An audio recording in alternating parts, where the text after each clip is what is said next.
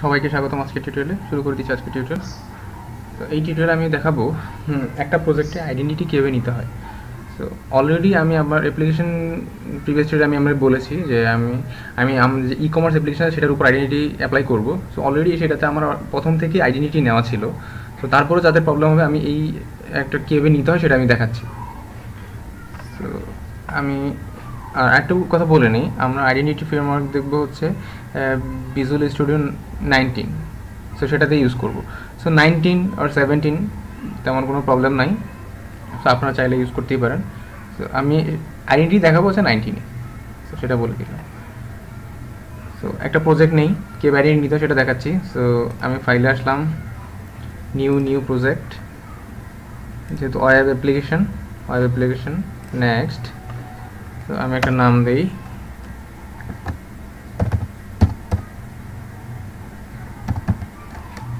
Sorry identity app so যে কোনোটা নাম দিলাম ক্রিয়েট দিলাম। তো এখানে চাইলে এগুলো আপনারা জানেন ভার্সনিংয়ের issue core web application so model view controller আমি সিলেক্ট করলাম। সো এই পাশে একটা জিনিস দেখাচ্ছে অথেন্টিকেশন সো এখনও পর্যন্ত নো অথেন্টিকেশন কোনো অথেন্টিকেশন নেইনি। সো অবশ্যই আমি যেহেতু আইডেন্টিটিতে কাজ করব, এখানে অপশনটা চেঞ্জ করতে হবে আমাকে। আমি যখন চেঞ্জে ক্লিক করি চেঞ্জে ক্লিক করার সাথে সাথে আমাকে একটা উইন্ডো আসে, সেই উইন্ডোতে এখানে চারটা অপশন আছে। এখন পর্যন্ত নো অথেন্টিকেশন চেক চেকড আছে।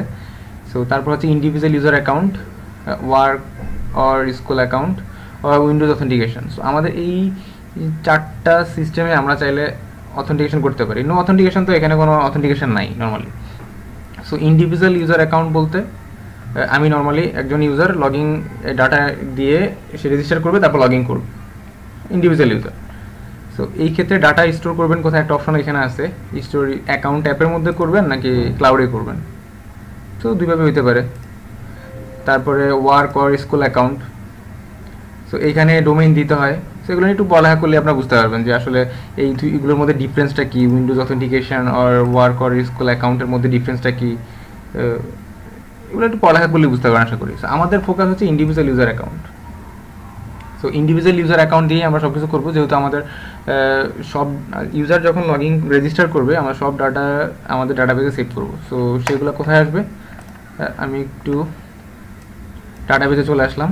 সো এখানে যদি আসি দেখেন এখানে আমাদের অলরেডি এসপি নেট এসপি দিয়ে অনেকগুলো টেবিল আছে। তো এই টেবিলগুলোতেই আমাদের ডাটাগুলো আসবে আইডেন্টি আইডেন্টি যখন আমরা ইউজ করব সো এখানে ডাটাগুলো আসবে। সো এখানে দেখা যাচ্ছে ID ASP net user so ইউজারের সকল ইনফরমেশন এখানে থাকবে, ওর রোল এখানে থাকবে, তারপরে SP dot net user claim যত কিছু আছে এখানে থাকবে। সো এই জিনিসপত্রগুলো এই জায়গায় আসবে আমাদের, এই টেবিলের মধ্যে। সো আমি ইন্ডিভিজুয়াল ইউজার অ্যাকাউন্ট সিলেক্ট করলাম ওকে দিলাম। সো এটা চেঞ্জ হয়ে গেল। ফাইনালি ক্রিয়েট আমি যখন ক্রিয়েট দিব, আমার এই প্রজেক্টে আইডেন্টিটি নিয়েই আমি যে আইডেন্টিটিতে চুজ করব, সেটা নিয়েই আমার প্রজেক্ট ক্রিয়েট হবে।